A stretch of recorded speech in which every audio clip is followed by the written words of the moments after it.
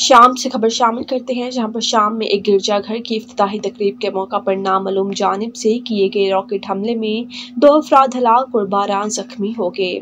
आलमी खबर अदारे के मुताबिक शाम के सूबे हमा के गिरजाघर पर उस वक्त रॉकेट हमला किया गया, जब वहाँ इफ्ताही तकरीब जारी थी। हमले के वक्त गिरजाघर की इफ्ताही तकरीब में शाम के आला सरकारी हकाम और उसी फौज के अहदेदार शरीक थे। रॉकेट गिरने से बगदड़ मच गई और स्टेज मुकम्मल तौर पर तबाह हो गया। जिसके नतीजे में दो अफराद हलाक और बारह जख्मी भी हो गए।